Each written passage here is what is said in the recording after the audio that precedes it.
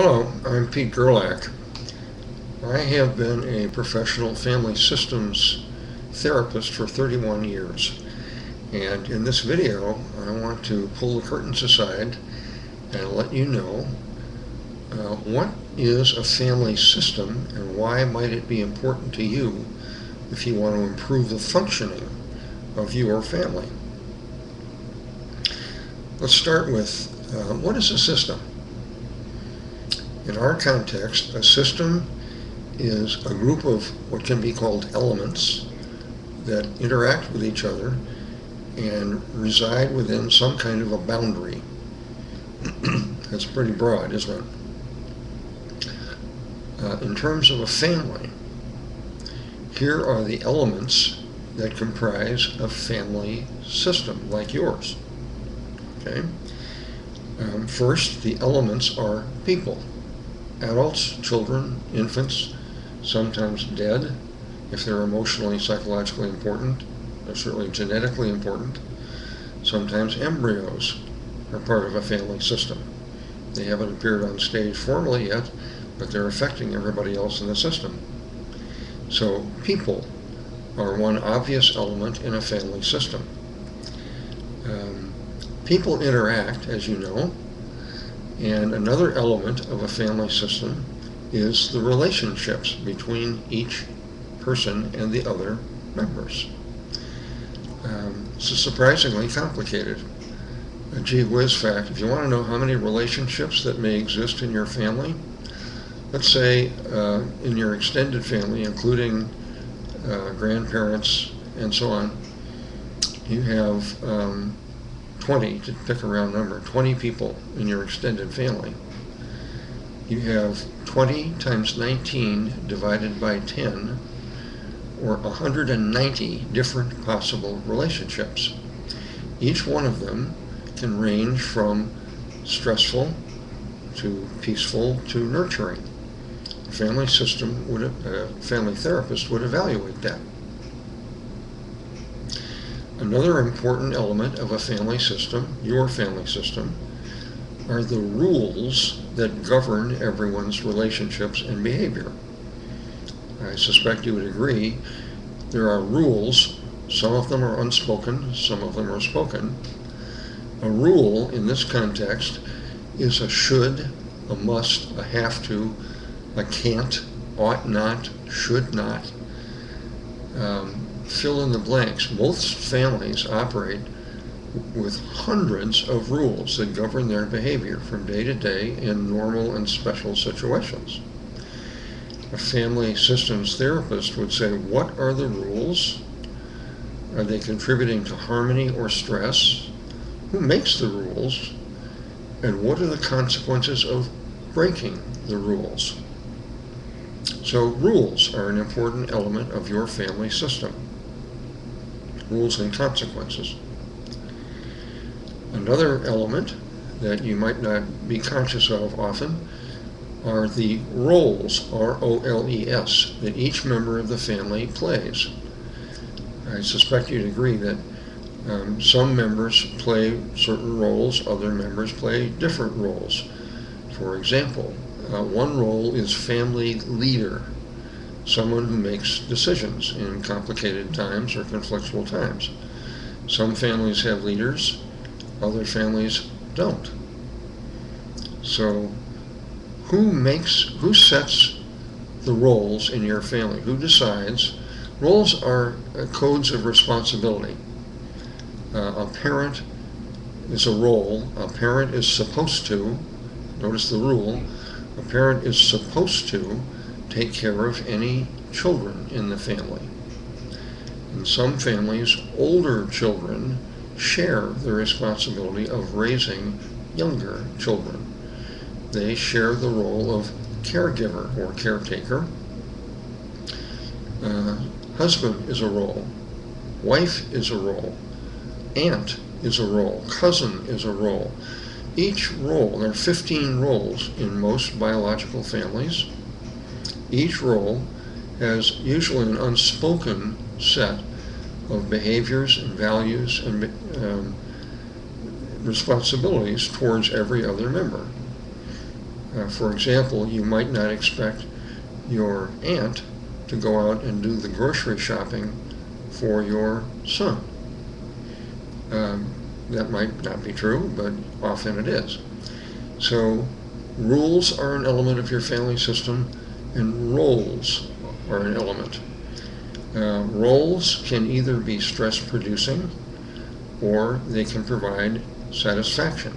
When roles fit the ability and the knowledge of the person with the role, uh, and they like the role and they enjoy doing the role, filling the responsibilities for the role to the other members, then that role is a healthy, productive element of your family system. If the role doesn't fit the person's abilities or interests, it produces stress. That's something a family systems therapist would pay attention to. Okay? An important aspect uh, of most families is subsystems. An easy way to understand this is your body is a system. The skin is the outer boundary of your body system, and it is composed of a whole lot of subsystems, smaller systems. Each of these subsystems interacts with each other and has its own unique elements and functions and roles and rules. Same thing with the family. There are several standard subsystems. For example, the marital or adult mate subsystem, mate-mate. Those two people are a subsystem of the whole family. Given family may have several marital systems. Parent-child is a subsystem. Child-child, as in siblings, that's another subsystem. Each one of these has its own boundaries, its own elements, its own rules, its own roles. Um, so it may be useful, especially in large families, to become aware of what are the subsystems, how are they interacting together, are they producing stress or contentment? Broad questions. Have you ever thought about that?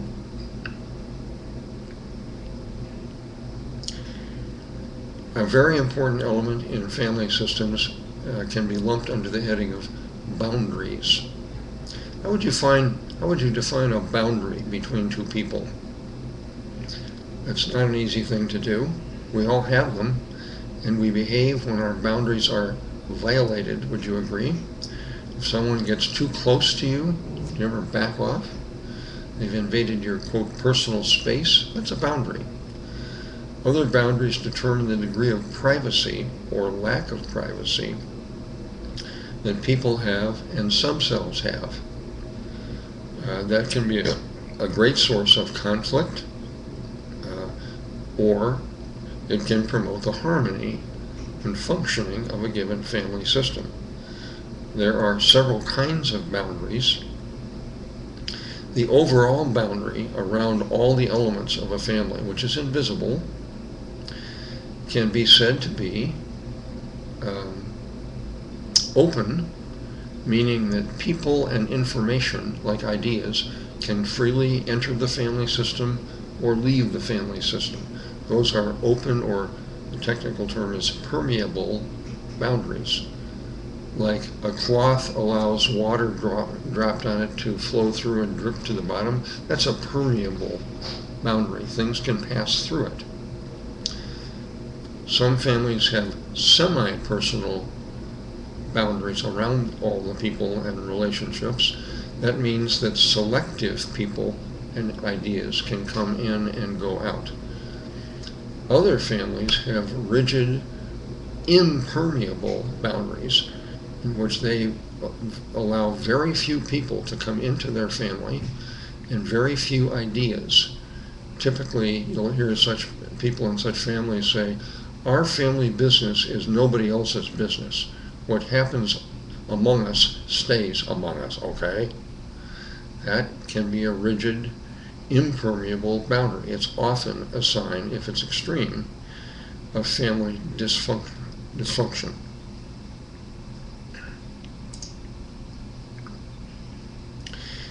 So, so what?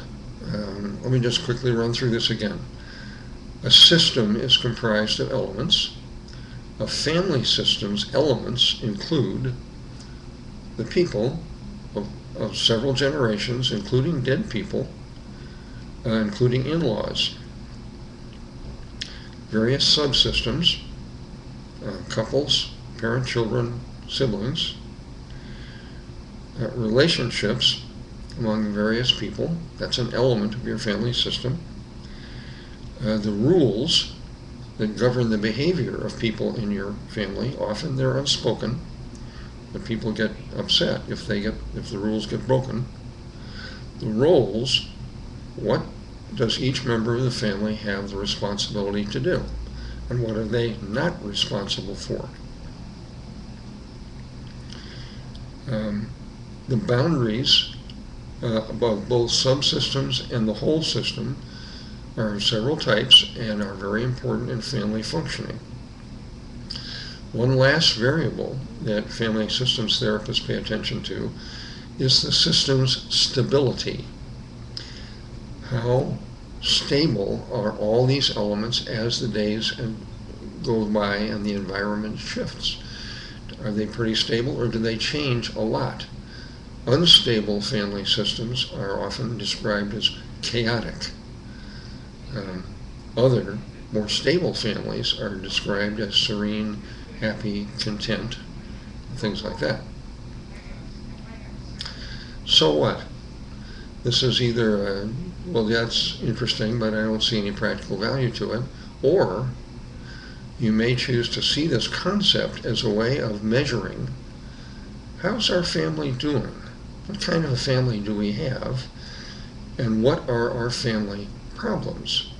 Using family systems concepts can help you identify and then resolve significant family problems among the relationships, the rules, who makes the rules, who enforces the rules, who sets the roles, are the roles appropriate, are they stressful or not, is the family stable or not, these are useful questions in trying to sense and improve the functioning of your family. One final point I want to make. This uh, group of videos that I've made and my website, the Break the Cycle website, proposes every person's personality, like yours, can be called an inner family. It's composed of a group of subselves each of which are just as unique as the members of your family. So this concept of family systems applies just as well to the family within your skin, in your brain, that's running your life. It can be very interesting to do an assessment of your inner family system. If you want more information on this or want to reread uh, what I just mentioned to you. There's an article in Lesson 4 in my nonprofit website at sfhelp.org. The article will reiterate what I just told you and add some more background. Feel free to browse there and learn more about your unique, marvelous family systems, inner and outer. Thanks for watching.